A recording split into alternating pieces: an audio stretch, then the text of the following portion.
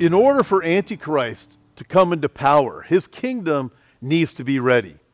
He only has seven years at the most, so he's not going to waste any time building the infrastructure, hence, the technology, the monetary system, the necessary wars, and fear to get people to want to receive the mark of the beast are all being used right now in order to soften up people's hearts to receive the world's new leader, Satan's man, Antichrist.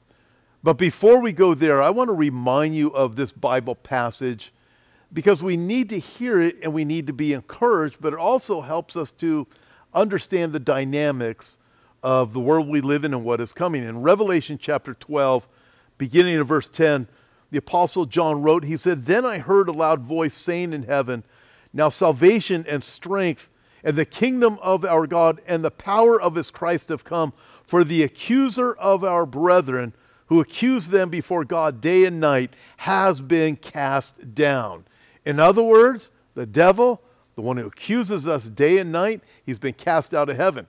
Then verse 11 goes on to say, and they overcame him by the blood of the Lamb and by the word of their testimony, and they did not love their lives unto death. Listen, that verse, verse 12 or verse 11 of Revelation chapter 12, it, it's talking about the people who, who come to faith in Christ after the rapture during the tribulation period and how they overcome the devil, how they overcome Antichrist is by the blood of the Lamb, the word of their testimony, and not loving their life unto death. In other words, it's really a reminder for us also, for those living at that time, they're really going to be faced with trial and persecution. But for us right now, when we see things closing in, what do we do? That's the blood of the Lamb, the word of our testimony. God has saved us, and we don't love our lives unto death. We recognize this world is not our home. No matter what happens to us here, we are going home to heaven. But then, the very next verse, Revelation chapter 12, verse 12 says, Therefore rejoice, O heavens, and you who dwell in the heavens. Woe to the inhabitants of the earth and the sea, for the devil has come down to you, having great wrath, because he knows that he has a short time. That is speaking of the time at the midpoint of the tribulation period. And God is warning what is coming to the planet is going to be absolutely devastating for all those who don't know Christ. For us now, we're going to be raptured first.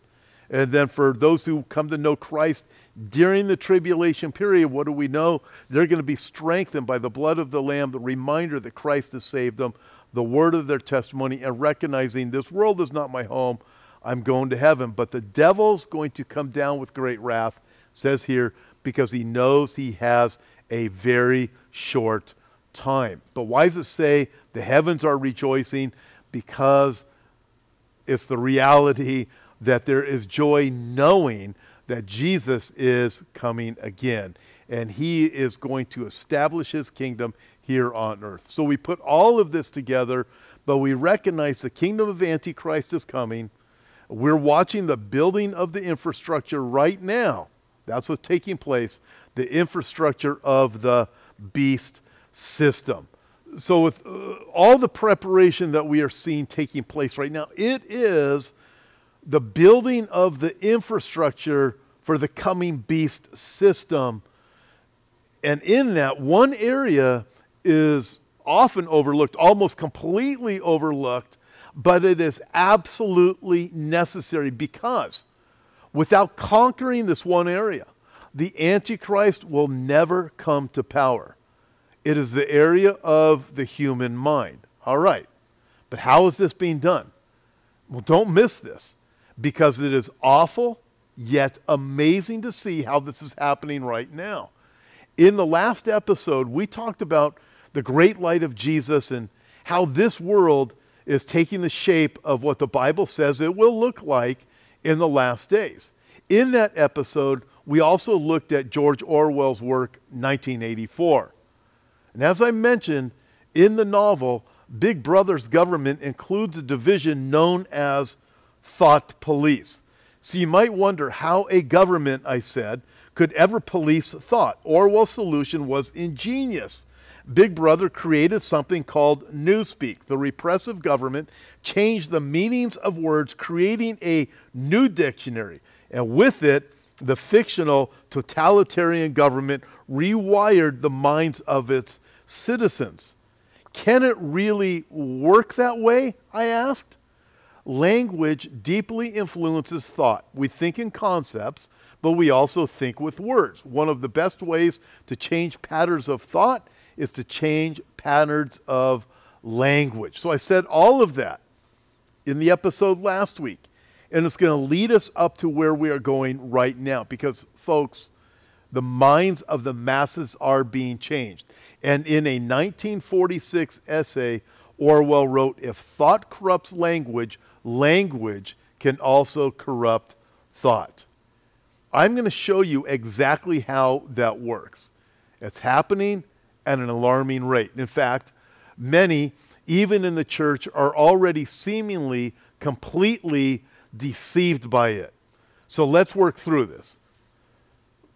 On Wednesday, June 26th, Jenna Longoria, Jenna's 16 month old son, and her mother were attempting to fly on a United Airlines flight from San Francisco to Austin, Texas. But they were not allowed to board the plane. Jenna immediately went to social media to tell her side of what happened. She said, The flight attendant has denied access to us because he said that I made a derogatory comment about one of the flight attendants because I didn't use their right pronoun. Now they are forbidding us to get on the plane because she misgendered them. United Airlines tells another side. They claim that it was not the case and it had to do with luggage. Which side is telling the truth? We may never know. But this entire story is indicative of the strange world that we live in. But there's more.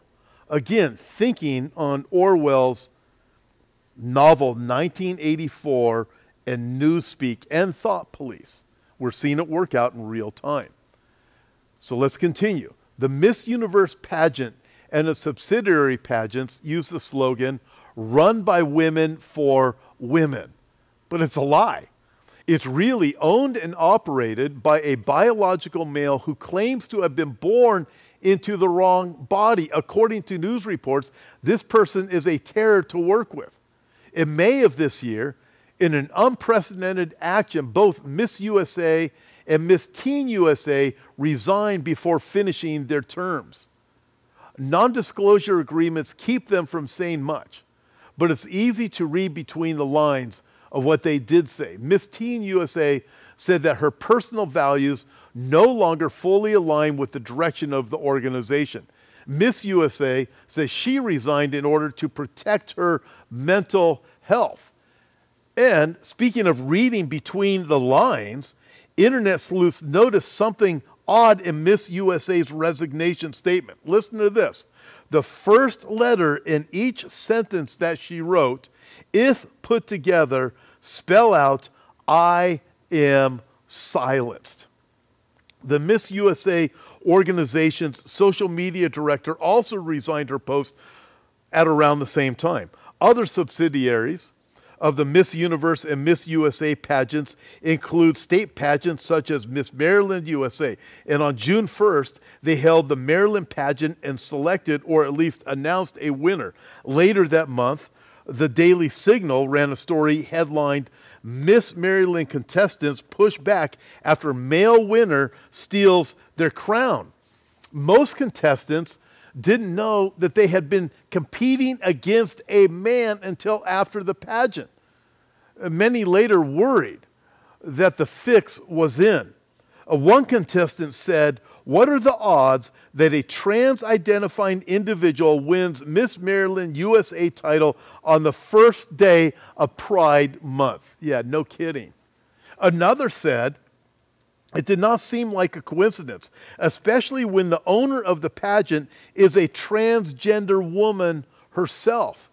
And upon winning the contest, Kennedy went out to march in Washington, D.C.'s Capitol Pride parade. Wow. Rules for the Miss Universe family of pageants now allow male contestants. They dress in the same dressing rooms and share hotel rooms with the females. That presumably applies to Miss Teen USA, where the contestants can be as young as 14. And uh, then there's more. Miss Maryland contestant Elizabeth McCarthy said, I was disgusted and disappointed that the pageant coordinators allowed women to undress in front of a man without any disclosure. And then she added, I just don't understand what happened to embracing your true self, the self that God made perfectly in his image. And then she continued and said, I feel that men are taking over everything that women worked so hard for. I look at this and say, where are the women's rights groups in all of this? But all of this, as we're watching, it's a plan, it's a master plan of deception. And I'm telling you, it is Orwell's Newspeak from 1984, where right is wrong and wrong is right. But some of you are old enough to remember the movie Tootsie from 1982. And in it, Dustin Hoffman was a man playing the part of a woman. It was comedy. And the idea that it takes a man to be a really great woman seemed absurd in 1982. That was part of the humor. But today, that idea is being played out on sports fields, talk shows, and even during story time at the library. Men are the best. They even make better women than women. It's a sick idea, but it is fast permeating the world, especially the Western world. We'll come back to that as we get to the end and why I believe it's happening right here. In society today, calling men men and women women uh, are considered fighting words.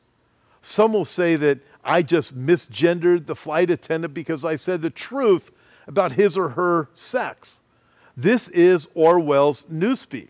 The repressive government is changing the meanings of words, creating a new dictionary. And with it, the rising totalitarian government is in the process of rewiring the minds of its citizens.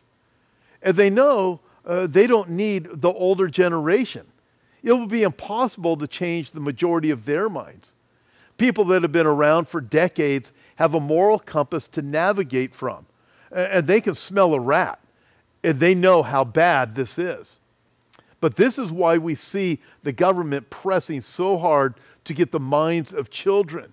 And it is working with devastating effects. At Hope for Our Times, our mission is to spread the hope of Jesus Christ through the Word of God. Your generous contributions empower us to create impactful videos and resources that offer hope during uncertain times. We invite you to partner with us in our mission.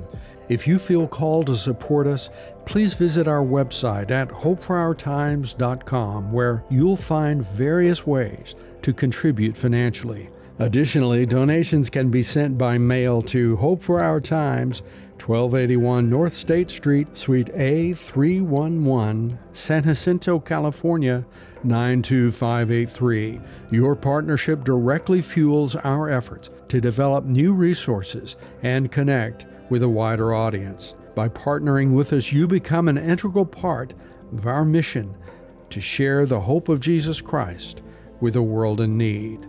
And now let's return to the Tom Hughes Report. Well, let's continue. Last year, The Hill ran an opinion piece on guidelines then proposed by the Equal Employment Opportunity Commission, or the EEOC. It began and said a federal government obsessed with gender ideology has decided that misgendering is now a thought crime. I'm not kidding you. This really does say this. And it is dead set on Muslim religious objectors. Misgendering is one of the new mortal sins of the secular catechism, and there's no recourse in the EEOC's new enforcement guidance for those with sincerely held religious beliefs that it is wrong to deny the actual biological sex that God has assigned to each human being. A modified version of the guidelines became official in May of this year. In the draft of its guidance, the EEOC said employers do not and cannot provide Title VII religious accommodations for behavior that is considered harassment. The only thing clear is that they call it harassment to truthfully refer to a man as a man if he says that he is a woman. Uh, they also say it's harassment if he is not allowed to use the women's restroom. Calling this guidance would be funny if it weren't so Orwellian. Guidance from the federal government sounds benign and caring, but it can get you fired, it can get you fined, sued, or put out of business. It isn't really law, but until it is rescinded by another administration, ruled unconstitutional by the courts, or overridden by an actual law passed by the actual Congress, as opposed to something made up by the deep state, it carries the same weight as law. But in the US federal government's version of Newspeak, it is merely guidance. You can't make these things up. However, this is happening right now in the world that we live in. So I look back and think of Orwell's Newspeak, and I think we're living it, we are experiencing it, and especially younger people. It's like the entire younger generations are being swept up by this madness. Merriam-Webster.com defines misgender as to identify the gender of a person incorrectly, such as by using an incorrect label or pronoun. Well, what on earth does that mean? If a person says they are another gender, then you need to accept it and deal with it. That's what it's saying. It's your problem. Well, here's the fact real misgendering is telling a little boy that he might be a girl, or a little girl that she might be a boy. That is sexual abuse on a level never seen before. But welcome to 1984 and 2024. In all of this, keep in mind that God is not the author of confusion, but Satan is. He's a murderer from the beginning, and he's the father of lies. Uh, listen, that explains a lot. Uh, here, think on this. Uh, the C.S. Lewis book, Mere Christianity, presents a powerful argument against people who say Jesus was a good moral teacher, but he was not God. Uh, Lewis wrote, I am trying here to prevent anyone saying the real foolish thing that people often say about him. I'm ready to accept Jesus as a great moral teacher, but I don't accept his claim to be God. That is the one thing we must not say. A man who was merely a man and said the sort of things Jesus said would not be a great moral teacher he would be either a lunatic on the level with the man who says he is a poached egg, or else he would be the devil of hell. I'm not giving you the whole quote because, as compelling as his argument is, that's not my point. Jesus claimed to be God the Son, and he backed up that claim in countless ways. But if you met someone on the street who made the same claim, you would think that that person suffered from a mental disorder. It, it would be a matter of mental health, not a reason for anger or disdain. And if he thought, as Lewis said, something like that, he'd be the equivalent of a poached egg. In God's eyes, that man would be no less important than other men, but he wouldn't really be a poached egg. A person who claims to be a man and also claims to be pregnant likewise has, at best, a major mental health issue, uh, but instead of seeing it as a matter of mental health or even demon possession, society began to tell us a few years ago play along, pretend it's true. And now, in 2024, we are even being told to deal with it and accept it as true.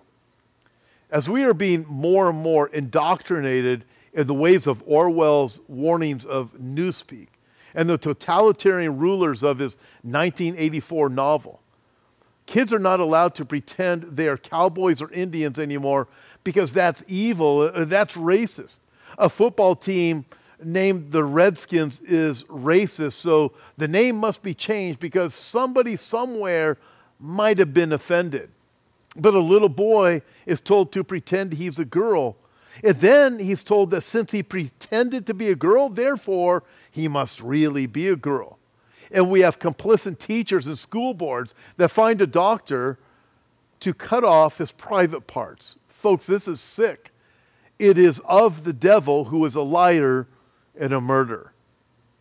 But our Western culture insists that it is immoral and you are evil if you don't support this. In other words, it is evil to tell the truth. And think of this why is this not happening in places like Russia or China or Islamic countries? They would never do this sort of thing, they wouldn't even allow it. I think it's interesting that this type of thought, uh, the whole newspeak thing, is only happening in the West, the Western world, where Antichrist rises up from. This is probably why. Uh, there's so much deception and mass confusion and lies in the schoolrooms, in the courtrooms, in the media, and the halls of government, and the White House. This world is being prepared for the rise of Antichrist, the coming leader of the revived Roman Empire. Uh, when it comes to children, listen, think of the words of Jesus in Luke chapter 17, verses 1 and 2, where Jesus said, It is impossible that no offenses should come, but woe to him through whom they do come. It would be better for him if a millstone were hung around his neck and he were thrown into the sea than that he should offend one of these little ones. I think of those words of Jesus and what is happening right now at the hands of parents who are complicit, teachers that are complicit, school boards, the government, right here in the United States of America. And you see how people, and especially children, are being targeted and being manipulated, and their minds are being changed. Uh, they're told such things that uh, what God says is good is really bad, and what the world and the devil say is good, it really is good. Listen, these are the words of Isaiah chapter 5, beginning in verse 20, where Isaiah warned, Woe unto them that call evil good and, ge- and good evil, that put darkness for light and light for darkness, that put bitter for sweet and sweet for bitter. Wow, folks, we live in this day, and again, I think of the offense. Jesus warns of those who have done this sort of thing to children. It would be better for them if a millstone were tied around their neck and they were thrown into the sea than offend one of God's little ones. The Bible also tells us that his angels watch over the little children. You look, think, wow, what is set for those who are doing such things is judgment in what the Bible describes as hell forever. And by the way, I look at this, and Jesus even warned in Matthew chapter 24 in the Olivet Discourse, he said, Listen, one of the signs of his second coming, he said, many will be offended because of me. In other words, you tell people the truth, oh, they're going to be offended. You tell them about Jesus, oh, they're going to be offended. It seems you can't not offend anyone anymore, especially if you tell them the truth. And as we live in this world where newspeak is being worked out, where right is wrong and wrong is right. But this world is being prepared with all of the deception and all of the confusion. It's the one area that most people overlook. We look at technology, we look at uh, science, we look at the geopolitical situation, we look at Israel, and we can tell that all of the infrastructure is going into place to prepare the way for Antichrist, including a coming temple in Jerusalem so Antichrist can sit in it. But what we often forget is the mind and the hearts of the people have to be prepared to actually think that Antichrist is the Messiah. And folks, what we are witnessing right now is the preparation of the mind and the heart. But be encouraged because as we look at all of these things that are coming together, we can list sign after sign after sign. There's over a hundred signs of the first coming of Christ in the Bible. And all of those signs were fulfilled when Jesus came the first time, that we would be forgiven of our sins. But did you know there are hundreds of signs of the second coming of Christ in the Bible? It was Tim LaHaye who said years ago there's five times as many signs of the second coming of Christ as of his first. And I think it was Joel Rosenberg who said there were eight times as many signs in the Bible as there of Jesus' second coming than there were of his first. And we are watching all of the signs, including what we talked about today the confusion, the lies, the deception, coming together all at the same time. And this is a reminder uh, that we would be encouraged because Jesus warned us this is what the world is going to look like before we are called home. And he told his disciples in Matthew chapter 24, he said, See, I have told you these things beforehand. And also in Isaiah chapter 46, the Bible says God tells us the end from the beginning. Why? So that we would know. So when we see all of these things happening, we would do the opposite. Instead of being discouraged, we would be encouraged. And what would we do? In the words of Jesus himself, he said, This is what we ought to do when we see all of these things begin to take place the perilous times, uh, the leaders of the nations being perplexed, all of the different things. When we see all these things beginning to take place, Jesus said, What are we to do? Look up and lift up our head because our redemption draws near. Listen, lift up your head. Jesus has won the victory. He is coming again. He's calling us home. God bless you. Thank you for tuning in to the Tom Hughes Report. We pray today's program was a blessing to you. The purpose of the Tom Hughes Report is to guide individuals toward the hope that can only be found in a personal relationship with Jesus. We encourage you to explore our website at thetomhughesreport.com and reach out to us through the contact page. We value your feedback and would love to hear from you. A special thank you to his channel for graciously allowing us to utilize their wonderful studios for recording the Tom Hughes Report. Don't forget to explore their website at hischannel.com for an array of Christ centered programs. Make sure to join us again next week for another insightful episode of The Tom Hughes Report. And always remember to look up and lift up your head because your redemption draws near. Hey everyone, check this out. I want to invite you to Southern California in November. Uh, right now, I'm obviously not there. I'm in Colorado at the Garden of the Gods. In fact, we've been all over the world, but uh, coming in November, November 8, 9, and 10, uh, we're going to have a conference there. It's called the End of the World Conference, and it's following the election. So who knows what's going to happen between now and then, especially after the election. And uh, it doesn't matter who wins, doesn't matter which way this go. We are going to be getting together, and uh, it's going to be an incredible time. We have a huge list of speakers, some of the best and most that I've ever been able to put together. And I want to encourage you, check it out. Uh, go to the events page at hopeforourtimes.com It'll give you all of the information there. It'll list all of the speakers. It'll let you know what's going on. And it also gives you an opportunity to register. But I really can't wait to meet you again to Southern California coming up November 8, 9, and 10. Can't wait to see you.